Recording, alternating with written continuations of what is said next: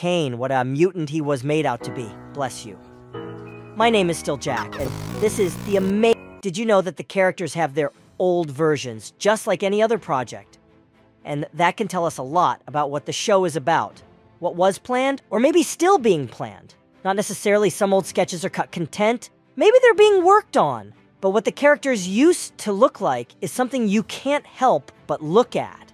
It's not just the appearance itself that differs, but also the gender. It's even interesting to delve into the history of this psychedelic world to finally find out what was planned. Where did the origins come from? Why did the characters look the way they do? There are also other sketches with unknown characters that we have not seen yet in the circus. And that makes it even more interesting. What are these old characters that have been cut out? Or just didn't get at least in the pilot? Well, let's start our old characters with Caine, what a mutant he was made out to be. Although some of the sketches are right on an original, but I'm more confused that he was portrayed as a regular mouth, whose jaw with no eyes. Or better yet, no eyes or mouth at all. Just a nose and ears. Maybe they thought it would be better to stick the eyes on top, but then they looked at it and realized it looked too creepy. So they took the eyes out completely. Then we get just a talking jaw in a suit. But apparently, the creators wanted to stick the eyes somewhere.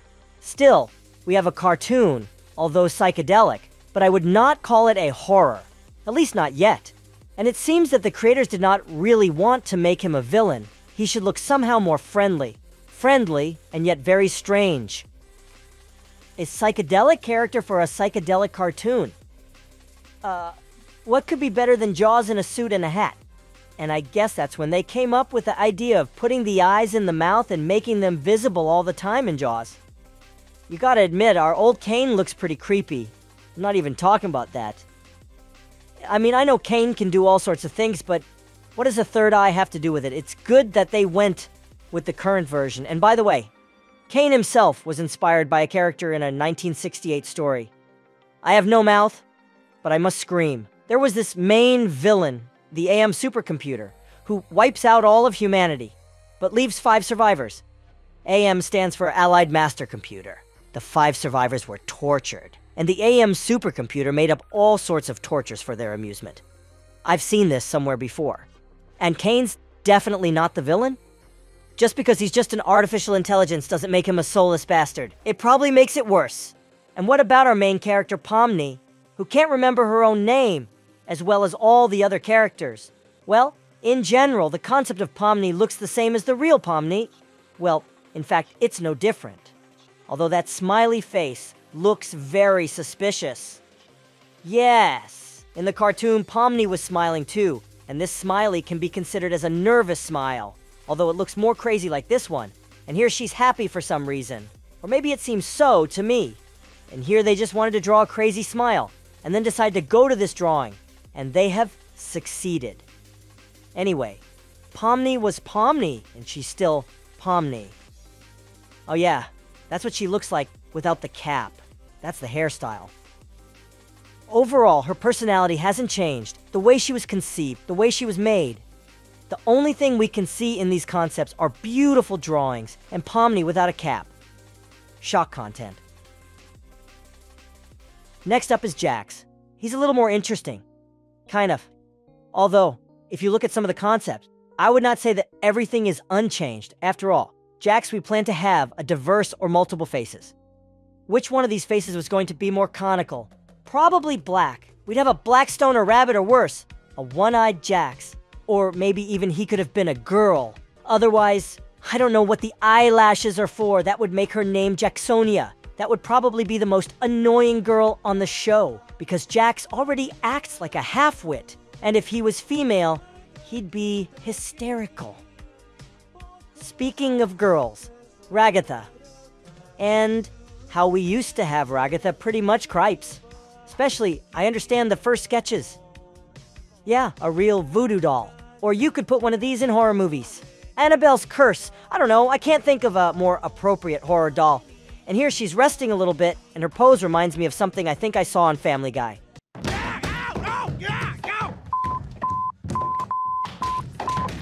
It's the same pose. Well, what did our old kinger look like? Yes, in general, the same. Ordinary chess figure of the king in royal clothes. And also, he should have a cannon scepter, but it was removed. Perhaps for fun, it will return. So, the scepter is not really important. The main thing is the appearance, and his very unconventional name, which fits very well. What do you call a chess piece in the shape of a king? Probably Kinger, or something like that. That's what our old Kinger looked like.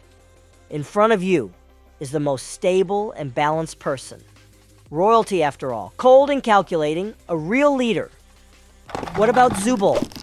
Oh, well, there's two versions. I guess the original and the final one. Zooble herself as a character is made up of some obscure figures. That's the whole idea. Zooble is a fucking thing.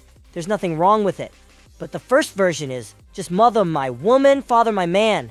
I understand this. Box, which is the body, symbolizes the devil from the snuff box, or box, whatever.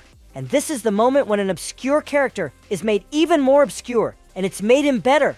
I wouldn't even stop at Gangle. Well, no offense, but I'll show her too. There are also sketches of the bubble. Caine's henchman, who constantly fawns over him, sucking up to him, and sometimes comically interrupting Caine himself. He's also a cook, and Kaufmo is the most interesting. And why did they just cut him out of the pilot? He's abstract in the first episode, but he's a pretty mysterious character. Maybe his disappearance and his abstract gives him more mystery. But not like this art. What a baby. He sure looks cool, but agrees still. His last officially recognized version looks much better and more appropriate for this circus. And it's a good thing they settled on this version. Although I don't deny that the original looks cool, but it's some kid in yellow pajamas. If he was shown separately from the show, I'd say he's the main villain. And we all know Kaufmo as the good-natured clown, and I promise to show some new characters. Some you've already seen, they're our main characters, and some are new like these strange faces here. I don't think these Trinity were separate characters. It's probably just a regular mask. And this is just a talking sock, I mean a sock puppet. Well, that's a mask too, and all of them were clearly used by Caine, especially the sock, putting it on his hand and talking to it. And what is that black face with two eyes? It's not hard to guess, it's abstracted. In old concepts, you can see this art along with the others, and everything falls into place at once, though I'm guessing from the color and the eyes. Who are these guys? Some long frog and an obscure butterfly? I assume they're background characters. Like they're residents of the digital circus grounds.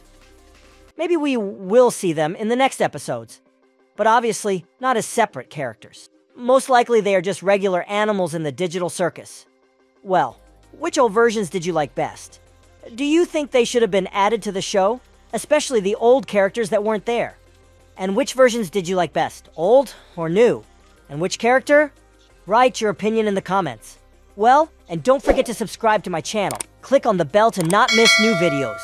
Like the video, share it with your friends and on your page, and don't forget to leave any comment under this video. See you later.